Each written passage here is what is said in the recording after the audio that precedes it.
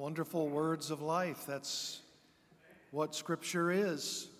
And we are delighted for that music and for the opportunity to raise our voices to the Lord in song. Thus far, we have talked about uh, several items about Scripture itself and how we are to use the Bible because of what it is, and we ought to thank God for the Bible because of what it is the origin of the Bible, the source of the Bible, the authority of the Bible, the inerrancy of the Bible. And fifthly, I want us to talk about the inspiration of the Bible. Now, we've already done that to some extent because I took you to John 14, 15, and 16 to talk about the fact that Jesus was promising through the coming ministry of the Holy Spirit to inspire the apostles and those closely associated with them to actually write the bulk of the New Testament. And that inspiration from God to these Bible writers ensured that what we have in the biblical text is the Word of the living God. There is also in this doctrine of inspiration another crucial passage that I think we ought to go to, and that is in 2 Peter. So if you have your Bibles there, I want you to turn to 2 Peter chapter 1. 2 Peter chapter 1 this is a profound passage of Scripture in 2 Peter chapter 1 that speaks of this dual authorship of Holy Scripture, dual authorship meaning God and these human Bible writers. That is, the Holy Spirit is inspiring these Bible writers to write what they wrote so that what is given through those writings is rightly called the inspired word of the living God, even though the writing is coming through human authors. Now, there are a lot of people who would say, well, because it comes through the human authors and humans are flawed, then the Bible must have flaws in it because humans had a part in the writing of the Bible.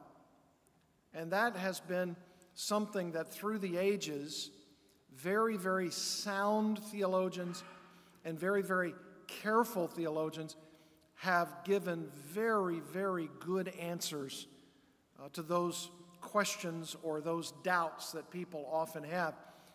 And I think 2 Peter chapter 1 from scripture itself gives us a marvelous understanding of these things. Look at 2 Peter 1 with me. You know that in the first part of this first chapter of 2 Peter, Peter begins to describe something that personally happened to him that we know as the Mount of Transfiguration when Jesus was transfigured before these three disciples who would later become, of course, apostles to the Lord Jesus. Peter being one of them. And in 2 Peter chapter 1 verse 3, the Bible says, His divine power, speaking of the Lord Jesus Christ, has granted to us all things that pertain to life and godliness through the knowledge of Him who called us to His own glory and excellence, by which He has granted to us His precious and very great promises, so that through them you may become partakers of the divine nature, having escaped from the corruption that is in the world because of sinful desire. And then beginning in verse 5 and going through verse 15, Peter begins to talk about the implications of how Holy Scripture, these divine things, this knowledge of God, allows us to grow in Christ conformity. And as he goes through the rest of that section, which we'll not read together, he then moves to this experience that he had on the Mount of Transfiguration.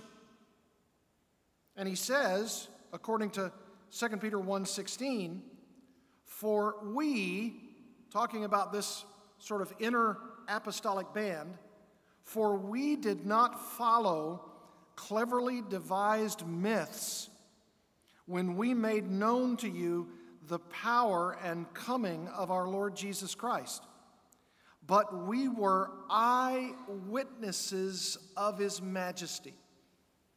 And that signals, that clues us in that Peter is about to talk about that experience that day on the Mount of Transfiguration when Jesus, as it were, opened his flesh and showed this brilliance, this bright, shining uh, glory that was so shocking, so brilliant, that it says that it was so white, it was whiter than any launderer could make white on the earth.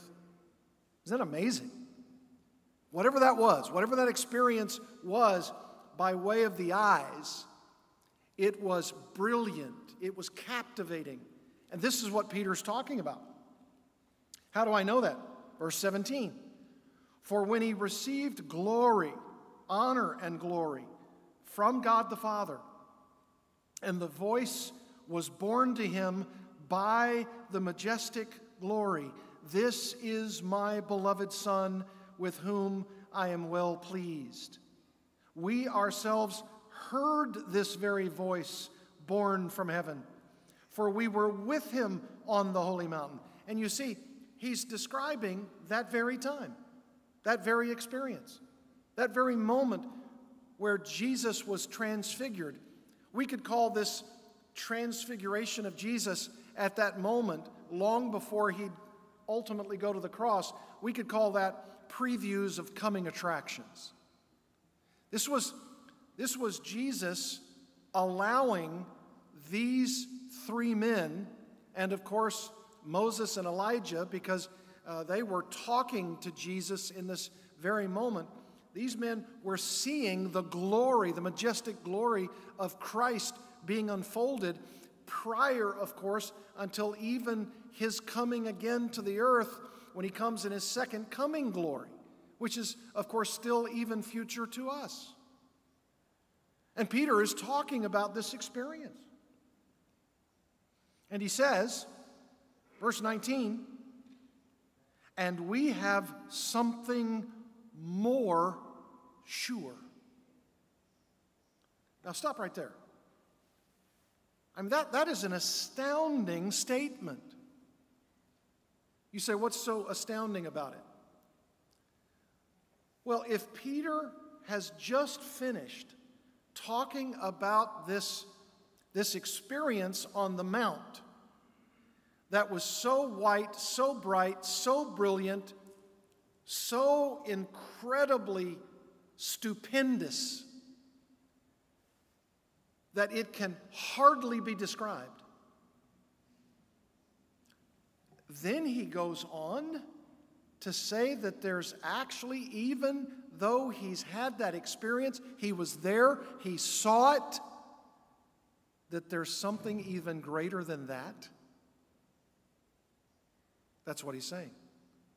What is greater than that? He says we have something more sure, or a more sure word, the prophetic word to which you will do well to pay attention as to a lamp shining in a dark place. In other words, think about the illustration he's just used there a lamp shining in a dark place, as it refers here to Holy Scripture. Can you imagine the Apostle Peter saying now, many years after the experience of being on that Mount of Transfiguration, I'm going to tell you about two experiences. One, the experience of the Mount of Transfiguration, where I saw the brightest, whitest, most stupendous experience I've seen yet in my lifetime, and that was the effulging glory, the, the whiteness of the vision of Jesus Christ manifested as God, a very God, as the Lord Jesus Christ. Let me tell you about something that's even brighter than that. And what is that that's brighter than that? Notice what he says. You would do well with a more sure word of prophecy to pay attention to a lamp shining in a dark place. What is that lamp? The lamp is our Bible. The lamp is God's Word. That lamp is the written revelation of God's Word in the Holy Book. That's what he's referring to. You say, where do you get that? Notice what he says. You should do well to pay attention, verse 19, as to a lamp, the Bible, God's Word, His written revelation, which is shining in a dark place, that is the dark place of this world, until the day dawns and the morning star rises in your hearts, knowing that first of all, that no, no, knowing this, first of all, that no prophecy of Scripture, that's how I know he's talking about Scripture, no prophecy of Scripture comes from someone's own interpretation, for no prophecy was ever produced by the will of man, but men spoke from God as they were carried along by the Holy Spirit. Carried along, borne along, moved along. This, my friends, is the doctrine of the Bible's inspiration. This is holy men. He, he, he talks about the prophetic word produced through prophecies, God prophesying through men, producing not their own ideas, not their own visions, but men spoke from God as they were carried along by the Holy Spirit. These prophets, these prophetical writers, these Bible writers, these men who took pen to paper that we have the beneficiary opportunity to read ourselves, even thousands of years later, we have the written version of what they were borne along by the Holy Spirit to write the Word of God. And that Word of God, according to this passage, is a lamp shining in a dark place. Because the morning star, Jesus Christ, is the one who tasked the Holy Spirit to bring these men along like a, like a ship in the harbor, and the wind was the Holy Spirit moving the ship along as the writing process was taking place. That's what was going on. These men were inspired by the Holy Spirit. It wasn't produced by their own will, it says, but men spoke, because they were prophets, spoke from God. As they were borne along by the wind of the Spirit to write what they wrote. And no wonder in chapter 2, verse 1, he talks about their opposites false prophets, false teachers, those who aren't borne along, those, those who do have their own opinions and their own will. And all they're attempting to do is deceive and mislead the people of God. So when, when I talk about you know, the origin of the Bible and the source of the Bible and the inerrancy of the Bible and those other things we've covered, we're really talking about this fully bright, revelatory word from God that you and I possess and hold in our very hands. Is that not incredible to think about? Do you, do you wake up in the morning and say, I can't wait to read God's holy word? I, I want, I want to know Him. I, I want to have Him give me His word as a word of counsel to my soul, to correct me, to, to bear me up, to encourage me, to convict me, to challenge me, to change me, so that this inspired word gives me the comfort I so desperately need and the direction I so delectably desire. This is, this is what we're talking about in the process of God producing His infallible, inerrant word. It is unerring, infallible, that it is totally truthful. There is no lie. It is all truth. It will all come to pass. And it is inspired by God.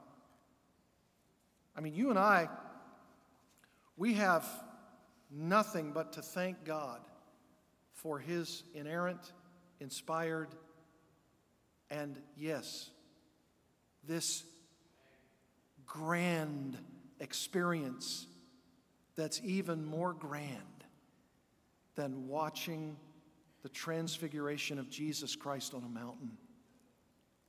That is amazing. And, and to think, here's another word the canon of the Bible, or the canonicity of the Bible. This is another in our list.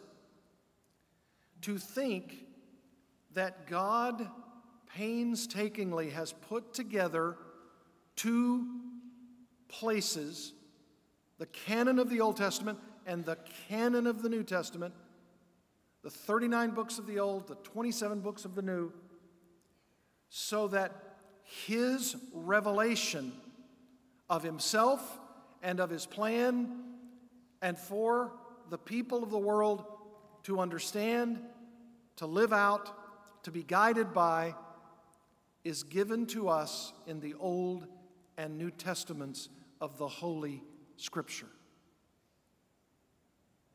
Now, some people really struggle with this idea of canonicity. And it's admittedly a challenge because in the canon of the Old Testament, canon, by the way, is simply a word that means rule or standard. So, the standard of the holy writings, the rule of the holy writings, is in fact nothing but the 39 books of the Old Testament. Not 40, not 38.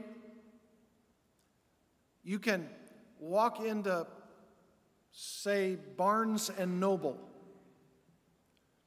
and you will see on the shelves, even up to this very moment, I often like to go into Barnes and Noble and say, what heresy is being promoted these days? And you look in the religion section of Barnes and Noble, and you will often see in that religion section new volumes of those who are writing on these subjects. And just look in that section, and you'll find something like this The Lost Books of the Bible. That'll be, that'll be one of the titles. You've probably seen it. Or it'll say, The Gospel of Judas, or The Gospel of Thomas, or The Gospel of Mary Magdalene. And these are whole books that have been written by authors who are trying to foist upon you and me that the church the capital C church is trying to mislead you by keeping you from knowing certain other things about the world and about the past and about the church and about the Bible, that the church has selectively withheld certain Bible books from you so that you may not read them. And that's what they intend to deceive you by. And it's, it's amazing how many people fall prey to such a thing. But the canon of Scripture, the rule, the standard of what constitutes these holy writings, is complete with the 39 books of our Old Testament and the 27 books of the New Testament.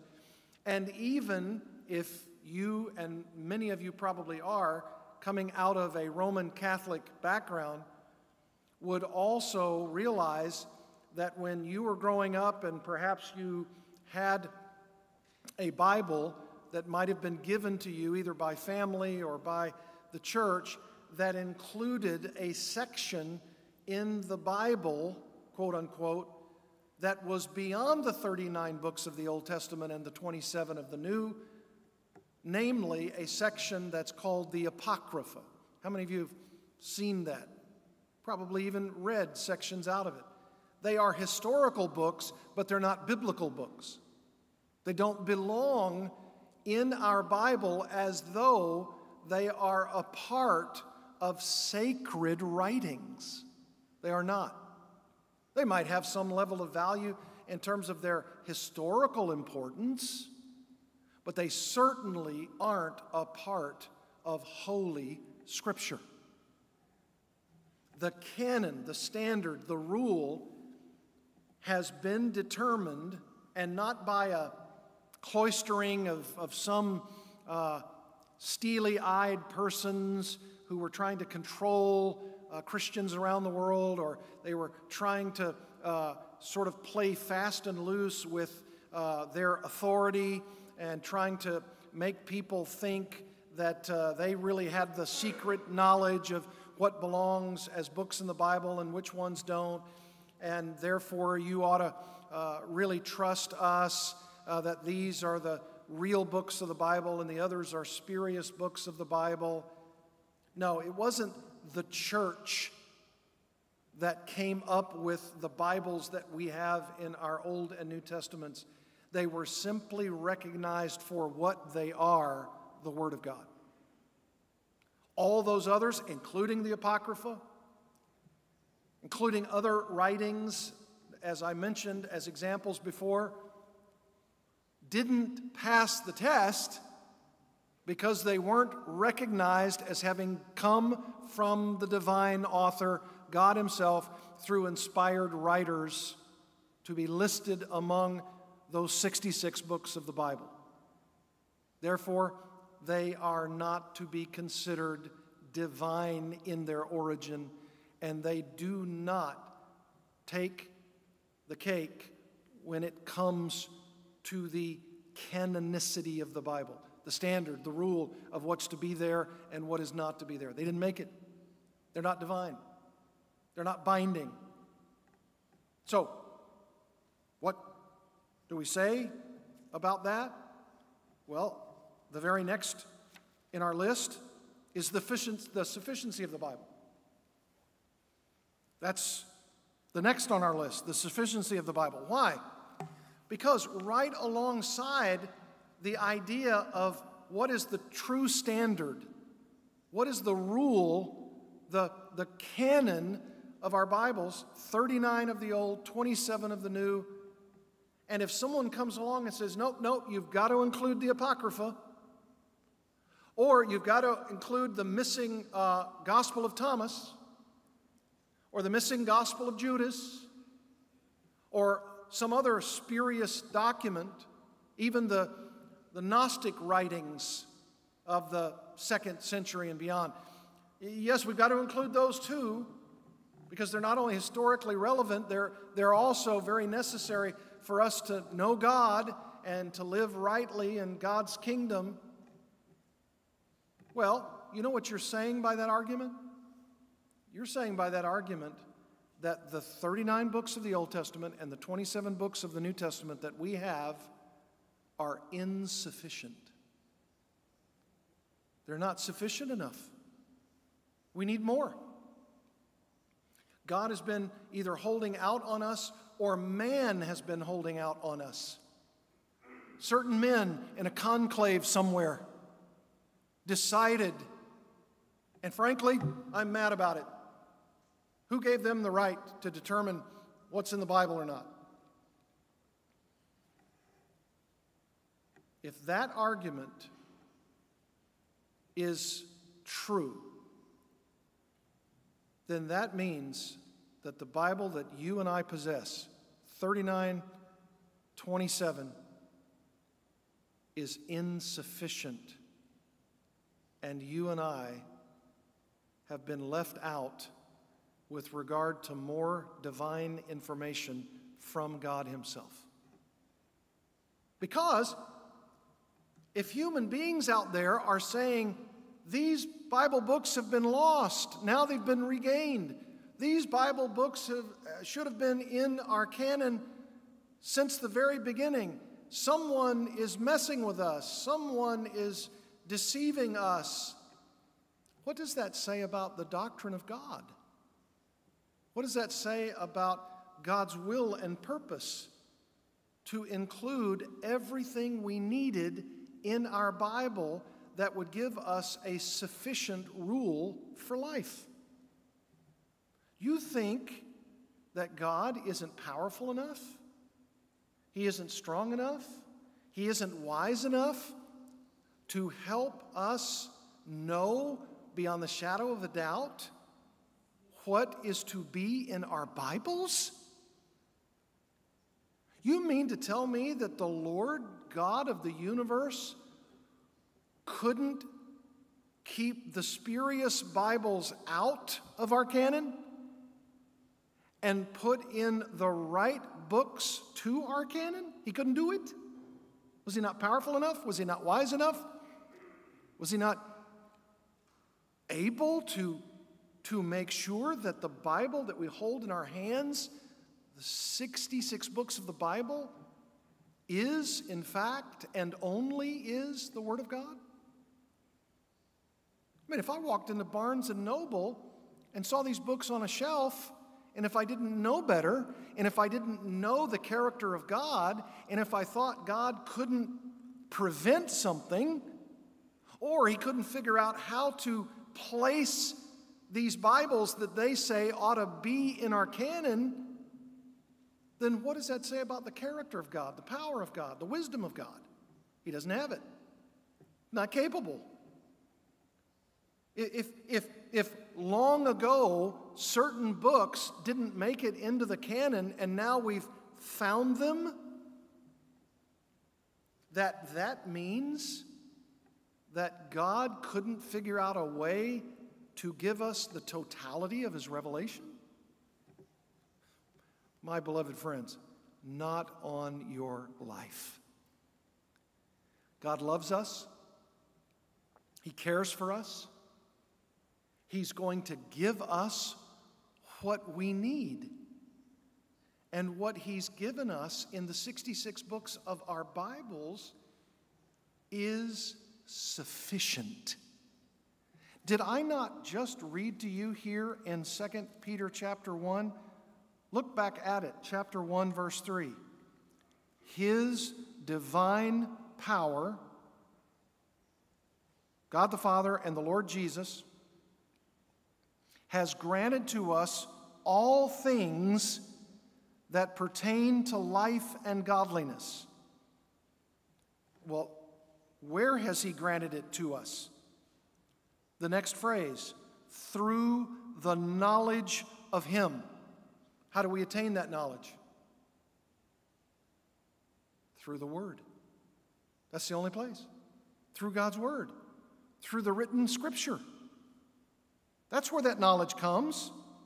The knowledge that He's called us to His own glory and excellence, and by which He's granted to us His precious and very great promises. Where do we find those precious and great promises?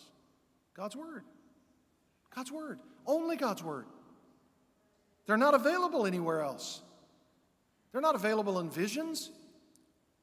They're not available in miraculous works that someone drops down, like the Mormons think, a, a, a new book called the Book of Mormon.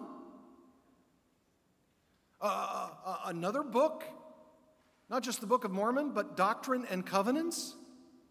And, and, and then a third book that God sort of just dropped in the lap of Joseph, Joseph Smith, The Pearl of Great Price.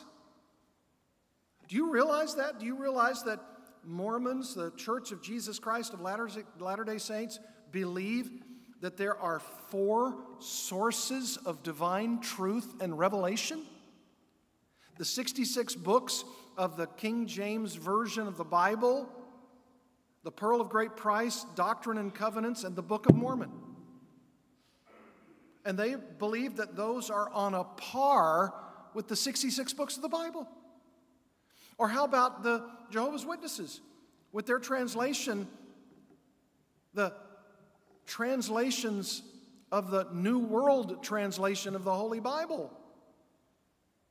And they've been messing around with that and jockeying it to fit their spurious doctrines. You see, none of that can compare to the precious and great promises that God has given us in His Word. Which means that the Bible is, that is, the 66 books of the Bible, are completely and totally sufficient. We don't need anything else. We don't need Doctrine and Covenants, the Book of Mormon, the Pearl of Great Price, the New World translations of the Holy Scriptures of the Jehovah's Witnesses. We don't need those. We don't need uh, visions and prophecies in the present day. This is the prophetic word. This is what we need. You say, well, wait, wait, wait, wait, wait.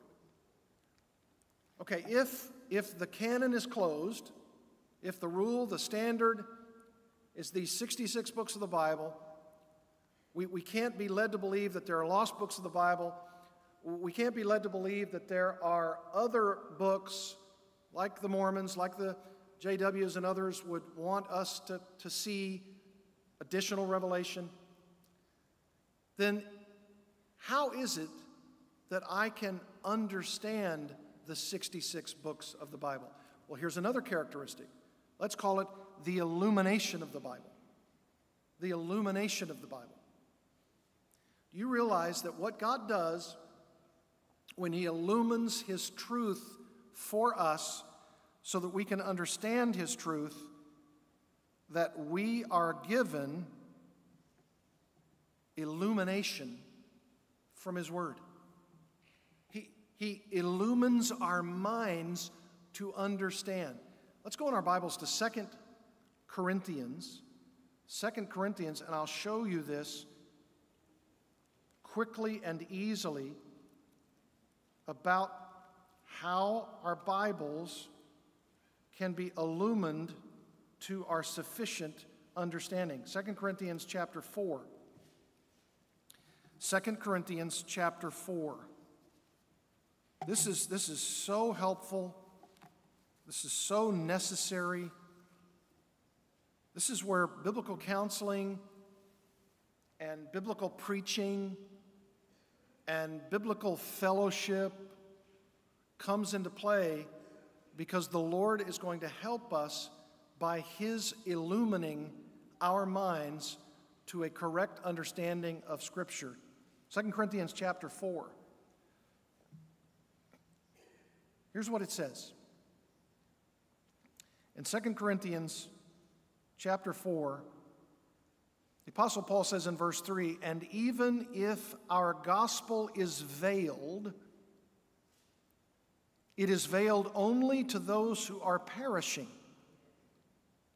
In their case, the God of this world has blinded the minds of the unbelievers to keep them from seeing the light of the gospel of the glory of Christ, who is the image of God. For what we proclaim is not ourselves, but Jesus Christ as Lord, with ourselves as your servants for Jesus' sake. For God said, Let light shine out of darkness, has shone in our hearts to give the light of the knowledge of the glory of God in the face of Jesus Christ.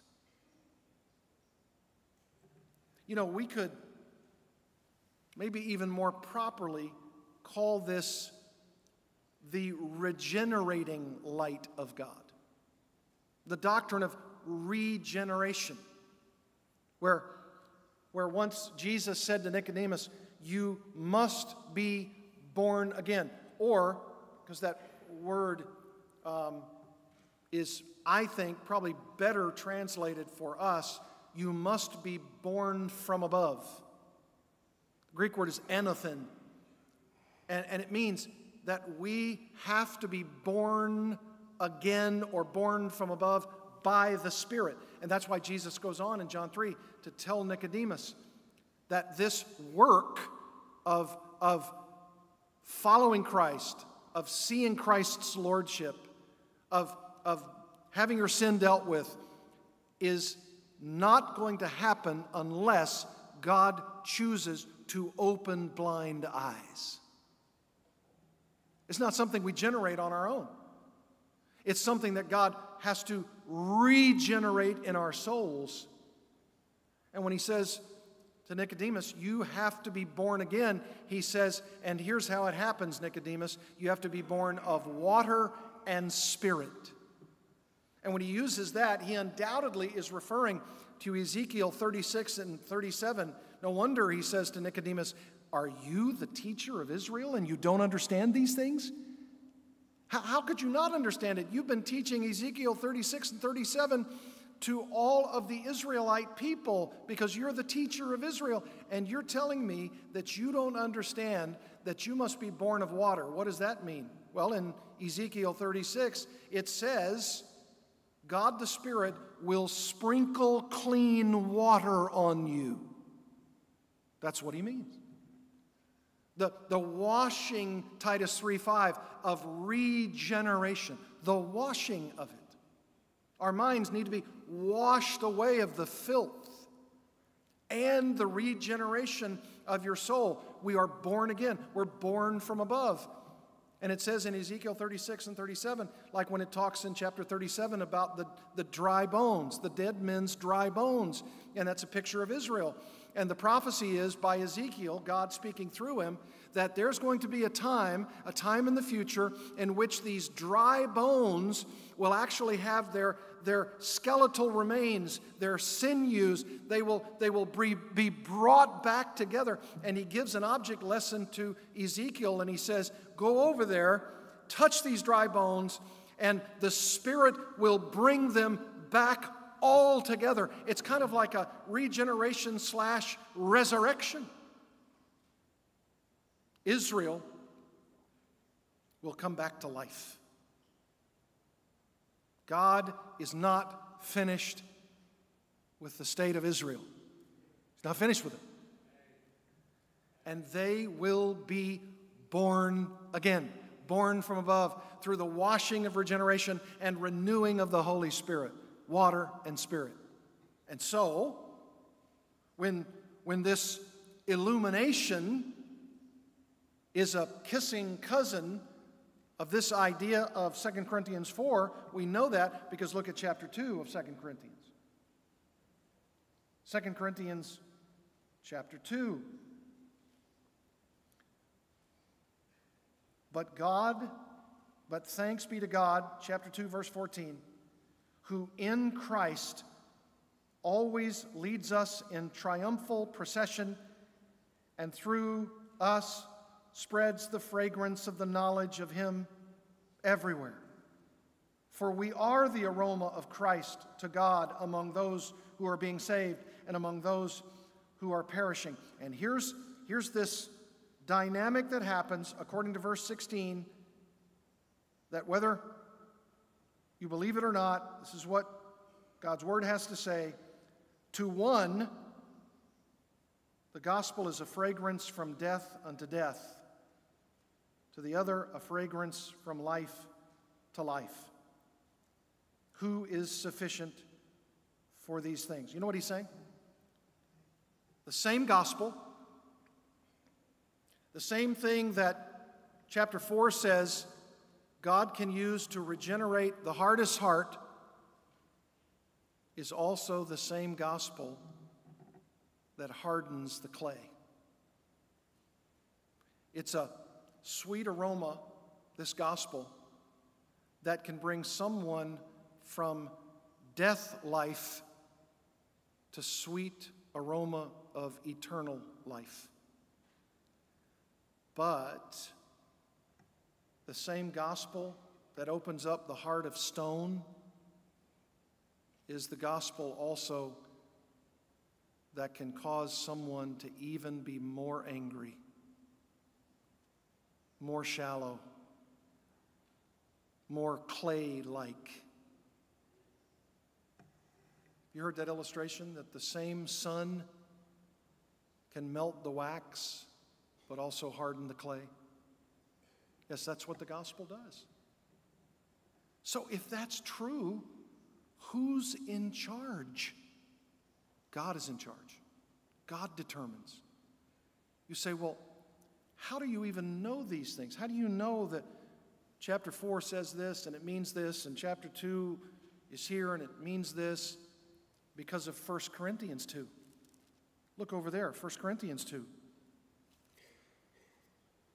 All of this that you're hearing me teach, all of these interpretations of these passages, and all of the things that God's Word, its origin, its source, its authority, its inerrancy, its inspiration, its canonicity, its sufficiency, and its illumination, comes to us because God is pleased to grant us a knowledge of these things. Look at chapter 2, 1 Corinthians chapter 2. Notice what it says. Verse 12. Now we have received not the Spirit of the world, but the Spirit who is from God, that we might understand or be illumined by the things freely given us by God.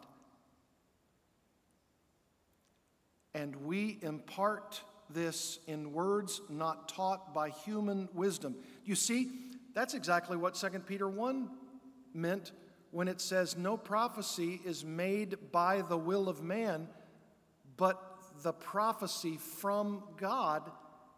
This is the same thing. These are the Bible writers who are saying, when we impart to you God's word as we've written it to you, it's not taught by human wisdom, but taught by the Spirit, interpreting spiritual truths to those who are spiritual. You have to be spiritual to, in order to understand spiritual things. No wonder he goes on to say in verse 14 the natural person does not accept the things of the Spirit of God, for they are folly to him, and he is not able to understand them because they are spiritually discerned. But look at this, verse 15. The spiritual person, the Christian, he or she judges all things, but is himself to be judged by no one. For who has understood the mind of the Lord so as to instruct him? Nobody. But we have been given the illumining mind of Christ.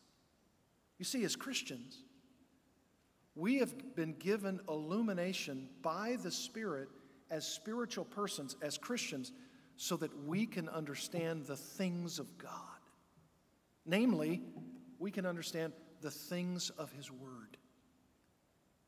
You ought to, you ought to pray every day that when you open your Bible, you would say exactly what Psalm 19 is saying. Almost every single word of Psalm 119, 176 verses. But listen to what it says in verse 97. Oh, how I love your law. It is my meditation all the day. And verse 105 Your word is a lamp to my feet and a light to my path. Do you see what the psalmist is saying? He's saying, Lord, I want you to open my mind, illumine my heart, so that I can understand your word. There are times as a pastor when I sit with someone who's asking for counsel and we're talking, and usually we're talking about things that are very unnerving to them. They're, they're in a state of flux and they're needing help and they're very emotional and, and they've got issues that they're trying to grapple with, spiritually speaking. And I'm saying to myself, Lord, apart from you, I don't know how to help them. I don't, I don't know what to say. Unless your word illumines my heart, unless you give me from your word the help that that person needs, and they're coming to me because they believe I will help meet that need, I can't do it on my own. I can't give them the counsel that they need. I, I have to have your word. This is, this is God's word that gives me all that I need. This is, this is a word about the word that when God illumines my heart to understand the word, I can help anyone. You and I can help anyone. We, we may not share everything that needs to be shared, but if we use His word, this word, this word will give them the kind of clarity that they need to move forward. In fact, that's our next word in our list the clarity of the Bible. The clarity of the Bible. I won't talk long about that because it's so close to that idea of the illumination of the Bible, but it's yet different. It's something like this the clarity of the Bible if you want to use a big word that theologians use, other than clarity, is the perspicuity of Scripture. It's perspicuous, it's clear. It's a, it's a kind of it's a kind of window into the soul. It's a kind of clarity that allows you and me to navigate successfully through the Christian life. And it's a kind of clarity that gives us a way of helping others when their thinking is murky, when they're not necessarily understanding how to work their way through the trial. This is our next to last word in our list because we've run out of time. But the clarity of the Bible is going to give way to the message that I'm going to give tomorrow on trials from James chapter 1. How many of you, hands raised, how many of you have had all the answers and you've successfully navigated every trial of your Christian life? That's interesting. I don't see a single hand up. And when I, when I put mine up, I was not being truthful. Because I don't have a way of successfully navigating all my way through the trials of the Christian life successfully unless I am illumined by the Holy Spirit, which brings the clarity of God's Word to my heart and my actions. Clarity of Scripture. Scripture is clear. Do you remember in that book of James, later on in chapter 1, where he talks about looking in the mirror? We could call it the mirror of the Word. And I'm looking at the mirror of the Word, and if I don't com- compellingly and completely and continually look into the mirror of the Word, what happens? What does it say in that illustration? It says, if, if I look into the mirror of the Word and then I quickly turn away, what's going to happen? It says, I'm going to forget what kind of person I am. I, I'm, I'm going to so easily forget what the Word has instilled in me, has instructed me to do. And so, what I need is God's Word to be so continually at my fingertips and through my eyes, continually looking through the mirror so that I can gain greater, greater clarity. Greater clarity. And you know, as well as I do, that you cannot often gain clarity on anything unless you continue to set your mind upon figuring it out. What am I going to do? What's the right answer? What's the best decision? You say, well, I would just phone a friend. Well, that's not a bad idea, but you probably shouldn't do that first. We probably run way too often into the counsel of a friend before we exhaust the opportunity to find out what God's Word says. And God has given us in His Word the kind of clarity, the perspicuity, the, the, the knowledge and the transparent understanding of what you and I are supposed to do. Now, of course, it's true that we're not saying that if someone says, Well, who am I to marry? Uh, what car should I buy? What, what house should we find? Uh, what job is out there for me? Well, the Bible isn't going to tell you with clarity buy the Honda. It's not going to give you some skywriting that says marry her. And most of the time, if the ladies are asking that question, it's not going to be skywriting, please don't marry him. However,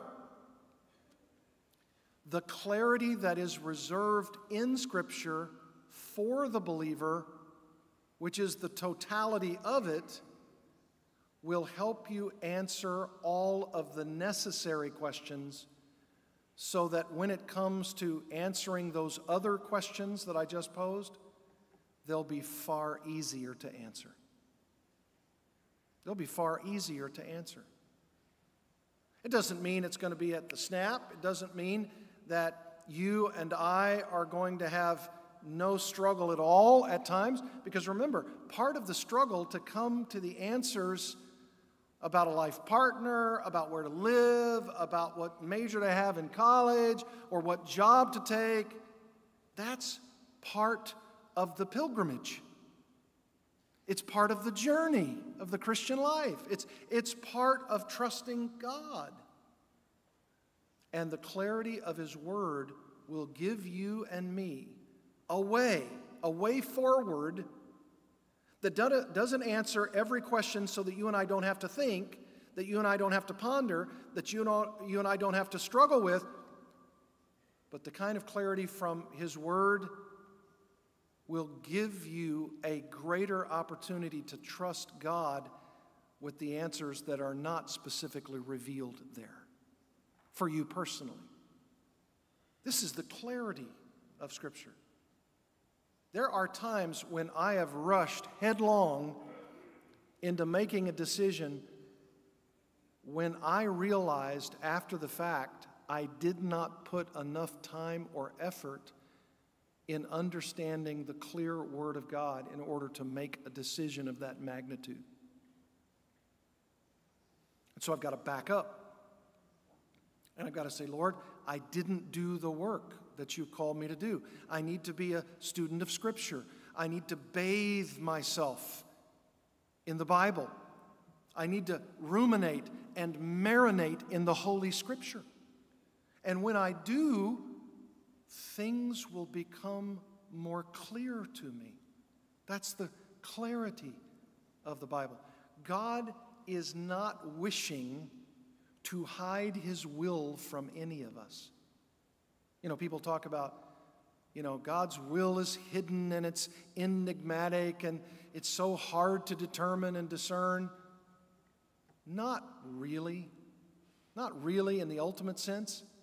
What we usually mean by that is something akin to I need the quick answer, I need the, the quick fix, I, I, I need to be able to, to sort of navigate around this real tough spot right now, in the moment.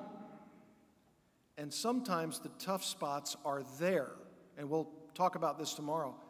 They're there to stretch and strain you so that you are left with nothing but to put your face back into the holy book. And when you do, and you find new insights, not because they weren't there before, but because you weren't in it before. And those insights can clarify, give clarity to your thinking. And I believe that's a wonderful place for the body of Christ to come to help. For instance, that's why I think the body of Christ has been formed so that we can come alongside our brothers and sisters and they can come alongside us and they can say, Let me share some scripture with you. I know you're going through a tough time. I want to share with you some passages that might give you clarity in your search for wisdom. Doesn't it say in James 1 5 that if any of us lack wisdom, we can ask of God, and He's not cheap? He's not going to withhold, He's not going to hold back, but He's going to give us the wisdom that we need so that clarity can be our gift. You see that? So we're left with one more for tomorrow. And I want to call that the practicality of the Bible. The practicality of the Bible. We've talked about the origin of the Bible, the source of the Bible, the authority of the Bible, the inerrancy of the Bible, the inspiration of the Bible, the canonicity of the Bible, the sufficiency of the Bible, the illumination of the Bible, the clarity of the Bible, and finally, the practicality of the Bible. And that's James 1, and that's regarding trials. And if you want that, you're going to have to come tomorrow to church. How many are coming to church tomorrow? I hope to be here too. Let's pray together. Father, thank you for our time. Thank you for these one, two, three, four, five, six, seven, eight, nine, and tomorrow, 10 characteristics of your beautiful, perfect word. And tomorrow shall be no different regarding the practicality of your word, the application of your word, the homework and help that we need from your word, especially for trials. May we thank you for your word and all of these characteristics that describe your word. For your honor and glory, we pray in Christ's name. Amen.